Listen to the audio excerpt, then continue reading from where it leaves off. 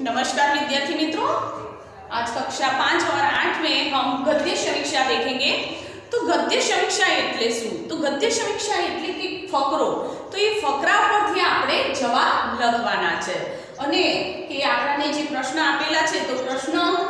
જે આપેલા છે તો આ ફકરા પરથી જ આપણને જવાબ મળશે હવે ફકરો તો ફકરો આપણે બરાબર વાંચવાનો છે અને મનન કરવાનું છે કે જેથી આપણને જવાબ મળે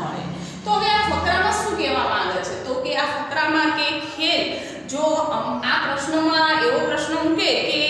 કે જે ખેલના, કે આ જે ગદ્ય સમીક્ષા છે, તો આ ગદ્ય સમીક્ષામાં એનું શીર્ષક શું થાય? બરાબર? તો શીર્ષકનો એવો પ્રશ્ન તો નથી, પણ કોઈ પણ જ્યારે ફકરો મૂકે ત્યારે શીર્ષકનો પ્રશ્ન વધારે આવે છે. તો શીર્ષક હંમેશા કે જેના ઉપર આખો ભાર મુકાય એને શીર્ષક કહેવાય. ધારો કે અહીંયા જો કદાચ એવો પ્રશ્ન હોત તો ખેલકા મહત્વ એવું શીર્ષક થાત બરાબર વિદ્યાર્થી મિત્રો તો હવે આ ફકરો તો ફકરામાં શું છે કે ખેલમાં કે ખેલ બતાયા છે, બે પ્રકારના ખેલ બતાયા છે કે મેદાનનો ખેલ અને ઘરમાં આપણે રમીએ એ ખેલ. હવે કયા કયા પ્રકારના હોય છે કે મેદાનના ખેલો? તો કબડ્ડી છે, ખોખો છે, બરાબર? ક્રિકેટ અને જ્યારે ઘરના ખેલ, તો શતરંજ છે, કેરમ છે, બરાબર? તો આવા ખેલો આપણે રમી શકીએ છીએ. તો વિદ્યાર્થી મિત્રો, આજે આપણે દેખીએ ફકરો ખેલ. નો પ્રકાર કે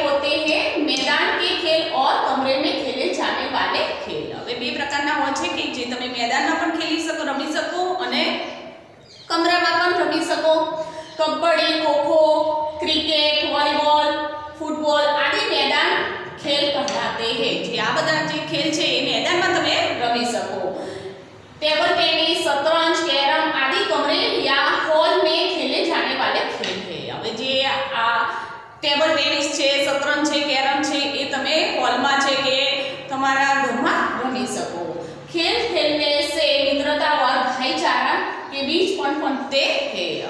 જે તમે રમો છો એનાથી શું થાય ભાઈચારો વધારે વધે છે તો વિદ્યાર્થી મિત્રો આજે આપણે પ્રશ્ન જોઈશું ખેલ કિતને પ્રકાર કે હોતે हैं હવે જો તમને આમાં ફકરામાંથી જ તમને જવાબ મળે છે બરાબર તો ખેલ दो प्रकार के होते हैं मैदान के खेल और कमरे में खेले जाने वाले खेल दूसरा प्रश्न देखिए कमरे में खेले जाने वाले खेलों के नाम लिखिए હવે આપણે જે કમરામાં તો કમરામાં કયા